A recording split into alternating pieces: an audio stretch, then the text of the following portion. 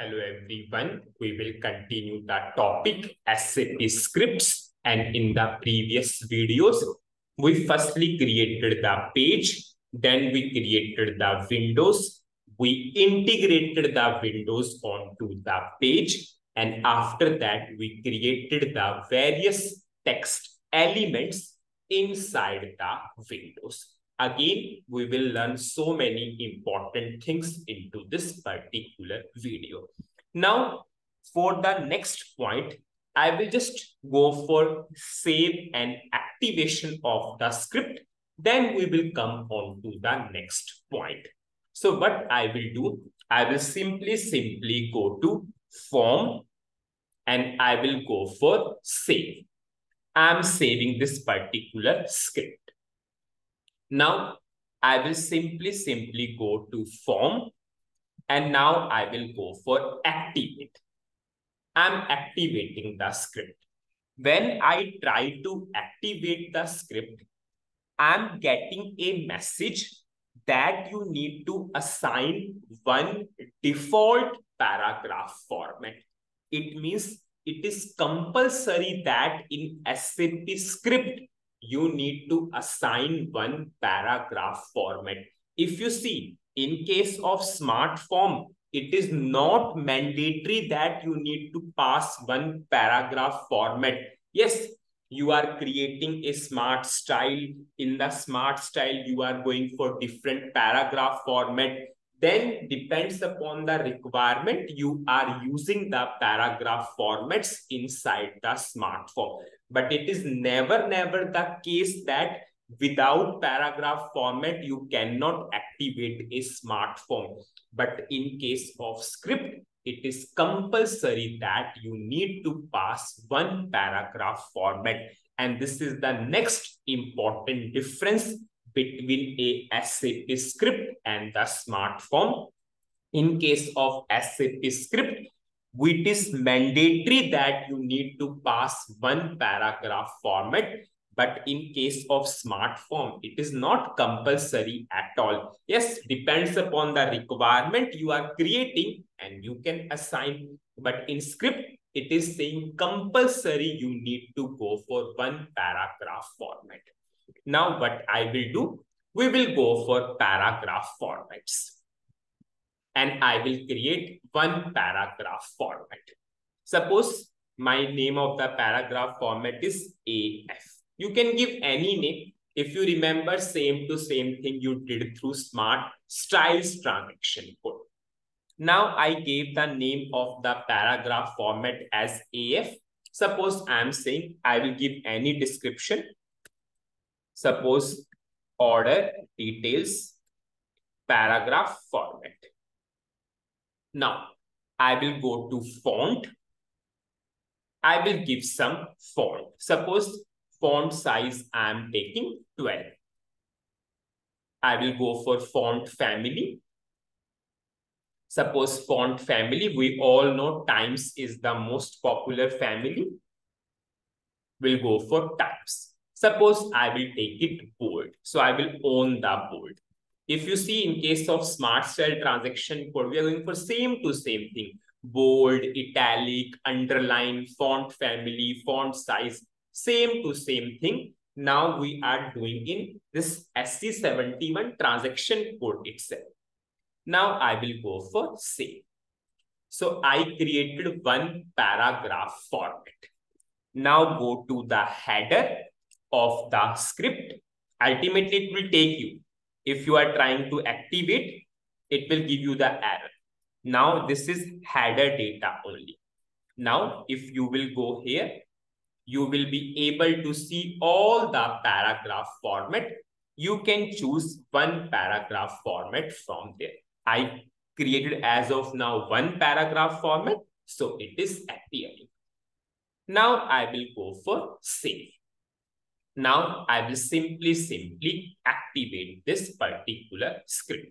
Now it is again giving me one more and for one more error.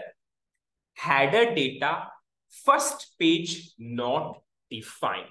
It means whenever you are trying to activate a script, you need to go for page also. You need to tell, yes, what will be the first page in the script.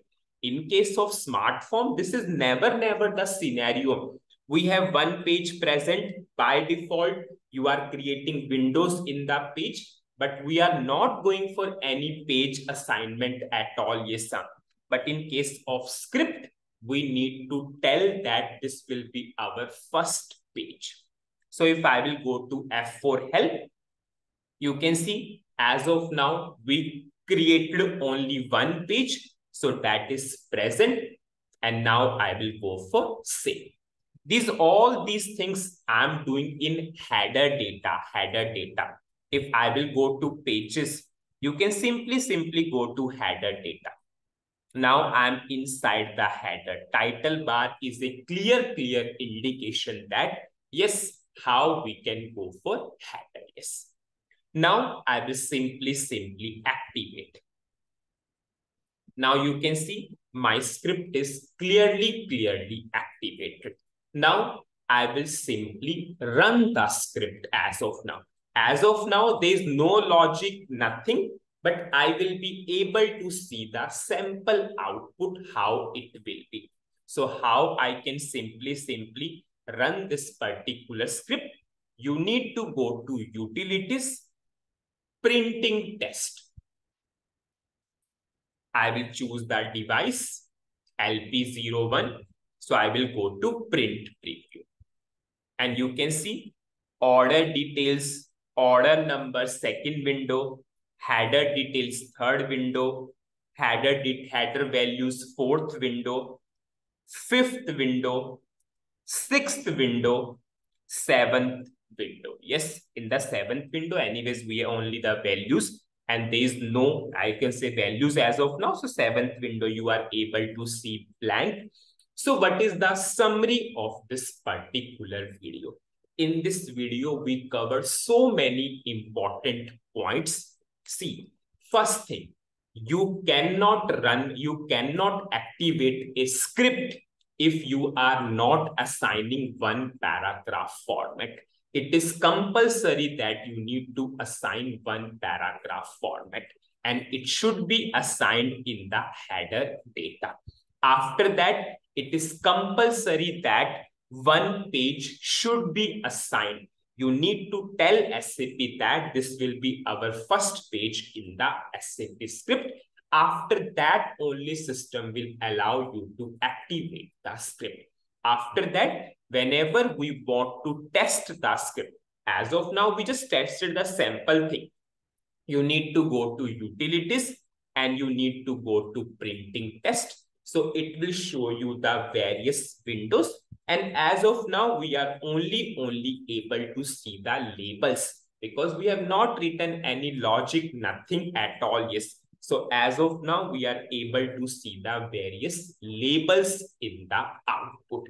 Now, if at this point of time, I will cover the most important differences in terms of SAP script and smart form when we started that topic, we covered two important differences. Yes, script is client dependent, smart form is client independent.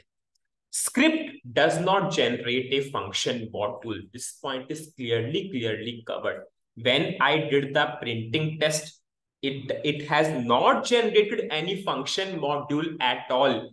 But in case of smart form, yes, when you activated the smart form and when you run the smart form, you are able to see the function module at that point of time. We are able to see the function module of the smart form. Third point, which is already covered, yes, in case of script, you need to create a page first. But in case of smart form, one page is already there. There is no need to create an uh, initial page at all. Yes, after that depends upon the requirement. We can create more pages, but one page is already, already available in the smart form. After that, we covered, yes, in case of SAP script, whenever you want to activate the script, it is compulsory one paragraph format needs to be assigned. But in case of smart form, there is no such scenario at all. And we can go for one more point here. It is mandatory to pass. It is mandatory to pass the first page in the script. It is mandatory to pass first page in the script because what will be the first page in the script? It is mandatory to pass first page in the script. Whereas in case of smart form, there is no need to pass the first page, nothing. System will recognize automatically. There is no need to pass the first page. What will be our first page in case of smart forms? So this is all about this particular topic. So in this particular video, yes, we studied paragraph format is compulsory to pass, page is compulsory to pass. If you want to go for just testing the script, go for utilities and printing test. And then we covered, yes, now as of now, we know five important differences between the smart form and the script. In the next video, we will learn how, how we can go for logic part because after that only we will be able to see the output of the script. Yes. So that's it in this particular video. Thank you.